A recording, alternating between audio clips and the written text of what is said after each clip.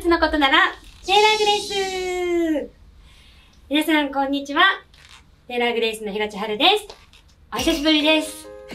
前回のですね、2月19日に公開された商品入れ替えの動画からですね、しばらく動画を更新することができていなくて、今回はですね、近況報告としてなぜ動画が撮れなかったなどかも含めて、ゆるーりとお話ししていこうと思います。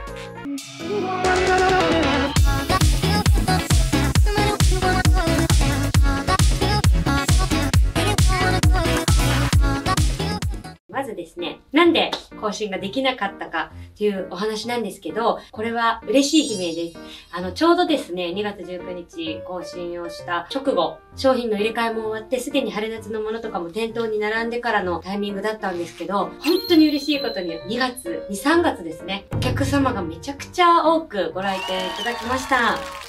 ありがとうございます。東春効果ですね。違う違う。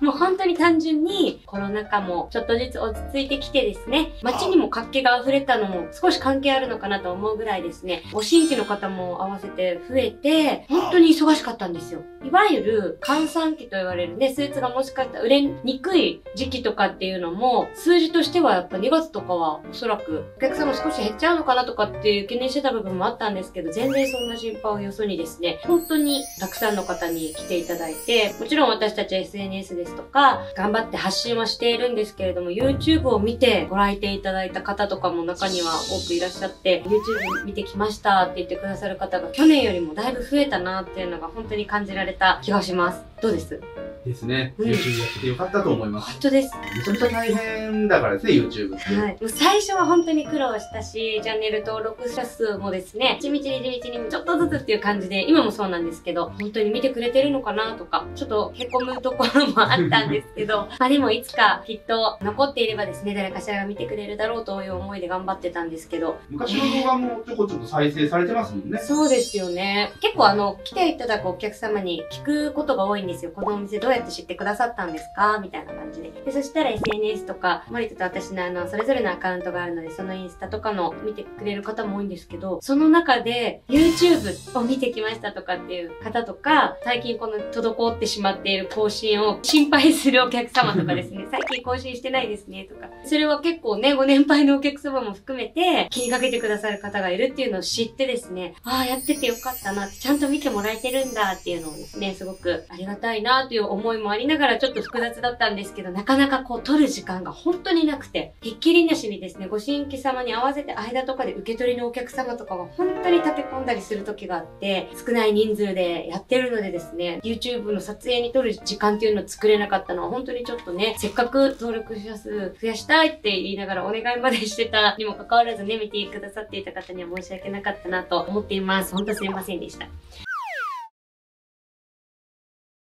と、あと、もう一つですね。大きな大きな要因として、なんとこの私、声が出なくなってですね、本当にすいません。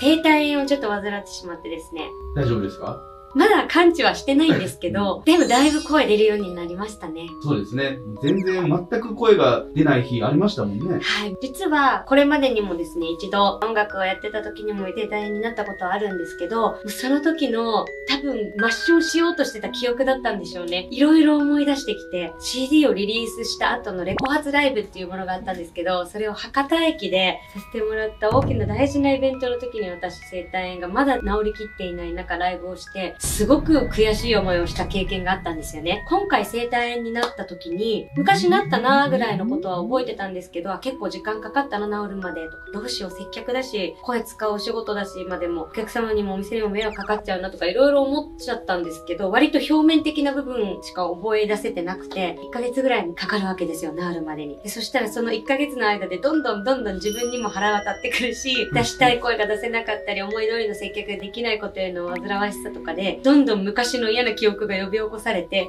そういえばあの時もこんな思いだったよみたいな、私の中では活動の1ヶ月でもありました。そんなことがあったんですね。初めて聞きました。原因としてはですね、声帯炎って、まあ、そのままほったらかしては喋り続けたり、例えば歌い続けたりとかすると、またポリープになっちゃったりとか、もっともっと悪化していくんですけど、実は過去にポリープになったことがあるんですけど、両方に大きなポリープがバーってできてですね、もしかしたら、今は昔よりも喉は酷使していないとは思ってたんですけど、より一生懸命説得してたんだよね。昔に比べたら今の方が喉は大丈夫でしょ 大丈夫です、大丈夫です。嘘ですよ、今のは。季節の変わり目だったりとか、ちょっと花粉とかですね、いろいろ悪かったのが重なっちゃって、あと年齢でしょうか。まだ若いでしょ？喉も筋肉なので、まあいろいろなんかね、重なっちゃったなっていうのはあったんですけど、今、この時期です。福岡市議会選挙のね、選挙皆さんそうなんです頑張ってますよねみんな必死に生きてるんですよ、きっとね、ちゃんでと。大声張り上げてねそうです、よ。く演説してる場所なんでそうです、ここ。交差点で交差点なので本当に選挙カーがこうバチバチ使うこともあれば街頭演説とかさね今はそういう時期でもあるんですけどとにかく私も声も少しずつ復活はしてきたのでまたここからですねお約束はね難しいんですけど毎週更新しますとかっていうのはなかなか言い切れないんですけど時間を見つけて不定期にはなるんですけどちゃんと今後も更新していきたいなと思ってますので登録外さずですね気長に次回の更新も待っていただけたら嬉しいなと思います。楽しみに待ってくれている方がいるということを本当にね最近ひしひしと私たち感じているのでこれからもどうぞよろしくお願いします。ということで今回はテイラー・グレイスの近況報告そして私の謝罪の謝罪会見ですね。謝罪会見ですね。また次回の更新もお楽しみにしていただければと思います。ということでぜひいいねボタンそして引き続きチャンネル登録の方もよろしくお願いします。テイラー・グレイスのひろちゃるでした